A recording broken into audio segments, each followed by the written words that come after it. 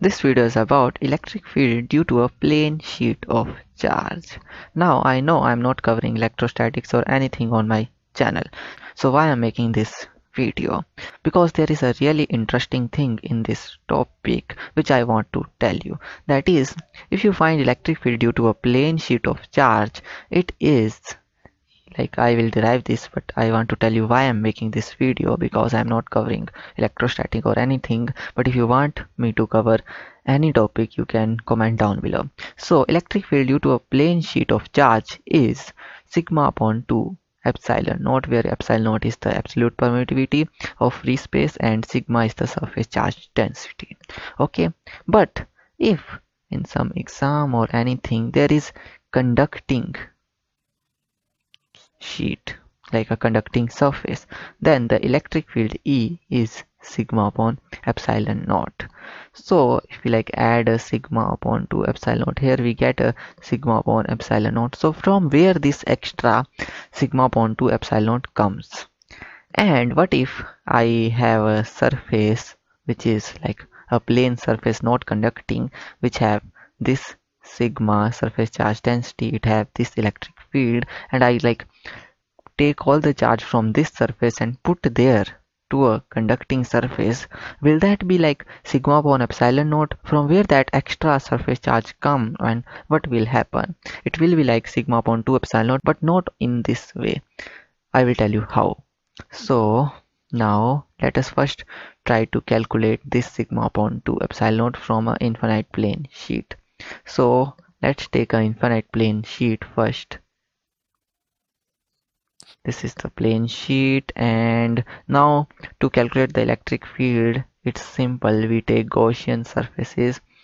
So we take a cylinder a cylinder because we will calculate this component and this component and this component is zero. We will just get this component. It's gonna be really simple. So their electric field is E. If this is positively charged and this here it is E and flux will be added. It's not a vector quantity. So now let's see the total flux. So total flux in this closed surface is E dot ds and it is for this one and it is also for this one and it is for this surface also this one. Here it is zero. It's simple.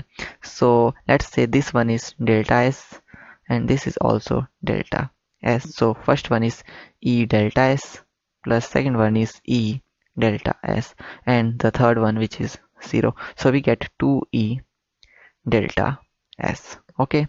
Now we know that this is equal to q upon epsilon naught but we won't use q. We need a surface charge density thing here. So we know that uh, sigma is equal to q by s so s in here is delta s.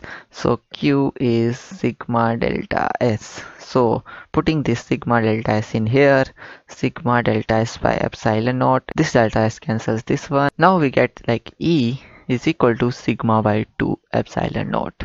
So far so good like we got the right result. So now we will do it for a conducting surface. Now why I'm doing for surface not this plane sheet because there is no way to make a singly charged infinite plane conducting sheet. Let me show you how first let's do it for a surface. What will happen is this let's make a surface. This one is conducting and this is like the behind of the surface and we will take a Gaussian cylindrical surface and this is the normal and this is the perpendicular component. Now here simply this integral will have 1 e delta s value because the charge inside the surface here is zero in this closed surface there will be only flux added with this surface. So e delta is equal to similar to this sigma delta s by epsilon naught and we cancel this one. So we got E is equal to sigma upon epsilon naught. So which is two times the electric field due to this surface. So now from where this extra sigma upon epsilon naught coming this is really interesting so listen carefully. As we know let's take a sheet of metal a conducting surface. If we give this a some charge what will happen is this will go in the surface such that the electric field inside this surface should be zero. So what will happen is this. The positive charge will accumulate on the surface. Here also and here also. So the net electric field inside will be zero. So what we are finding here is the electric field due to two infinite charged sheets. That's why the sigma upon 2 epsilon plus sigma upon 2 epsilon gives us sigma upon epsilon naught. So what will happen like say if there is a charge sheet of surface charge density sigma that's why I said that we can't make a single sheet there always will be two and now what will happen if I have a sheet of charge density sigma and I am getting electric field sigma upon 2 epsilon naught. Now what if the same charge is went in here? So what will happen is this, there will be two charge densities, there will be two sheets, but their surface charge density will be sigma by 2. So for that same density, for the metal sheet, we will also get sigma by 2 epsilon naught. But this one is due to two sheets with half of that surface charge density which we had on one sheet.